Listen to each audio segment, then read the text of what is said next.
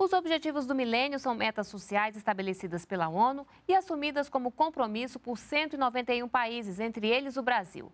Nós já conseguimos cumprir antecipadamente algumas metas, como a redução da mortalidade infantil, a diminuição da fome e da pobreza extrema e o acesso à água potável. Você sabia que os municípios também podem ajudar o país no cumprimento dessas metas? Esse é o assunto do NBR Entrevista. Nosso convidado é Olavo Noleto, subchefe de assuntos federativos da Secretaria de Relações Institucionais da Presidência da República. Tudo bem, Olavo? Muito obrigada pela sua presença. Tudo bem, Carla? Obrigado. É um prazer estar aqui com vocês. Bom, o prazer também é nosso. O que, que levou o Brasil a avançar? Foram as políticas sociais? Elas tiveram um peso importante?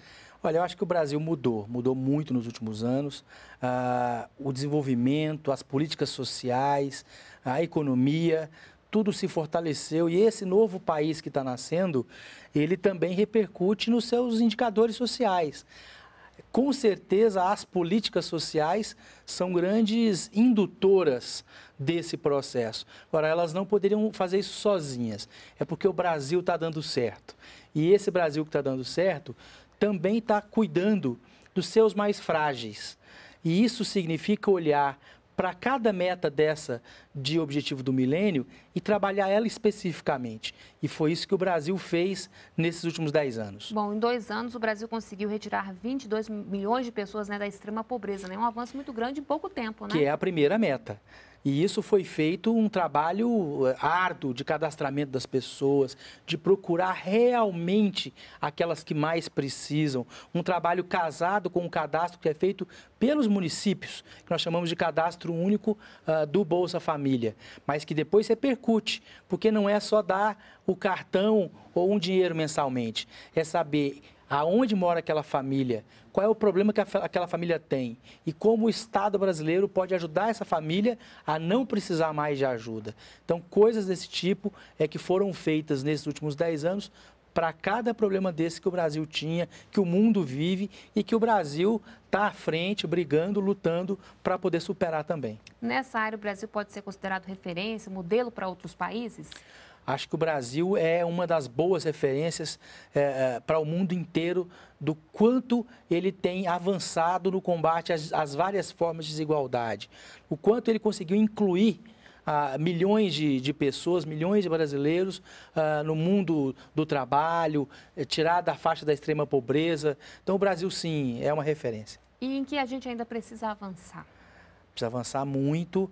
Ah, e no que se respeita à gestão municipal, e justamente a capacidade dos municípios uh, dialogarem com esses objetivos do milênio, superarem essas dificuldades, em cada uma das metas a gente tem muito trabalho para fazer junto aos municípios. Na própria erradicação da, da extrema pobreza, que a presidenta Dilma uh, tem um compromisso firme de acabar nos próximos meses com o que a gente chama de extrema pobreza, isso depende diretamente do trabalho dos municípios. No caso da saúde, a, a, mortalidade infantil, que a gente já atingiu a meta do ponto de vista nacional, mas do ponto de vista regional, tem muitos municípios em que a mortalidade infantil é muito alta ainda.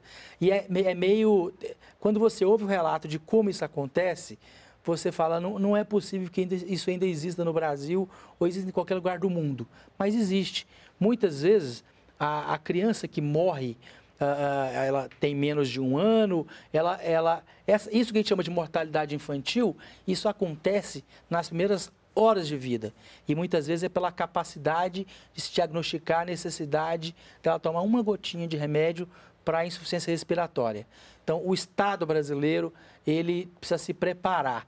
E isso depende diretamente do município, porque é lá é lá que acontece isso. Está lá na ponta, né? É esse serviço municipal que está acontecendo lá na ponta e que a gente precisa cuidar dele, qualificar ele para ele chegar melhor nas pessoas, nos nossos brasileirinhos, brasileirinhas, porque eles são a, a, razão disso tudo. Ou seja, a gente pode comemorar sim que alcançamos antecipadamente algumas metas, mas a gente não pode esquecer de olhar para a nossa realidade também, né? Não adianta ter município ainda com analfabetismo, com questão de violência, com questão de mortalidade infantil, como você colocou. Avançou muito, mas tem que avançar muito mais. E agora é isso, é, é, é, além de olhar, fazer, fazer o cálculo nacional, nós agora temos que prestar muita atenção no cálculo intrarregional, nas diferenças regionais. Nós ainda temos é, é, bolsões de pobreza, de dificuldade, que lá nós temos que trabalhar muito ainda.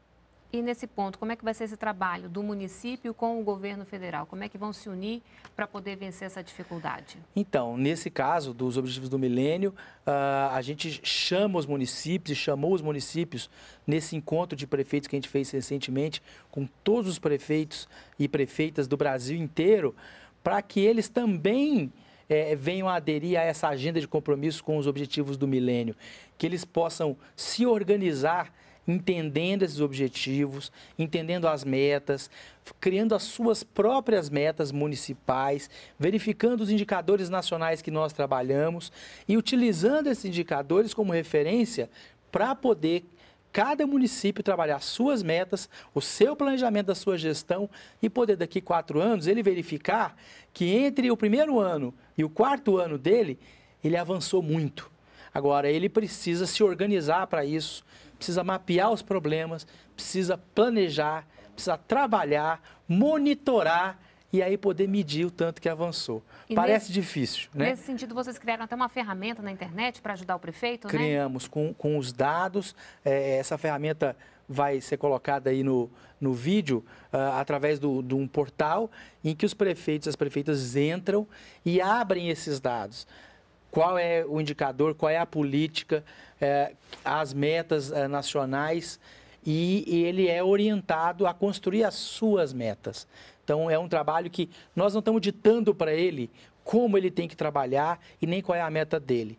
A gente está dando o caminho das pedras, porque cada prefeito, cada prefeita sabe a, a dor, o sabor lá da sua cidade, da sua população. Então ele, ele tem essa sensibilidade na pele, ele sabe qual é a dificuldade. Mas está ajudando ele a se organizar, organizar dados, organizar informações para ele poder navegar bem e levar o seu município para o melhor lugar. Como é que tem sido esse contato né, dos municípios, das prefeituras com o governo federal? Como é que tem sido essa relação nos últimos anos? Então, a gente é, trabalhou nos últimos 10 anos uma inversão dessa relação. Acho que uh, antes tinha uma coisa dos municípios com pires na mão, dos municípios uh, uh, não serem recebidos pelo governo federal, e a gente construiu nesses últimos anos, nos últimos 10 anos, eu posso dizer com certeza, uma relação de respeito de carinho, ah, de uma relação republicana, em que todos são chamados para o diálogo com o governo federal. E aí a gente prioriza não aqueles amigos ou companheiros, prioriza aqueles que são eh, mais necessitados. Porque igual a gente tem a população mais necessitada, a gente também tem o município mais frágil, mais necessitado. Então, nos últimos anos, aqueles municípios mais necessitados foram chamados para uma agenda comum com o governo federal, de pegar na mão, de ajudar a fortalecer as políticas públicas em cada área, na educação, na saúde, na assistência social, ah, na política para as mulheres, nas políticas de combate ao racismo.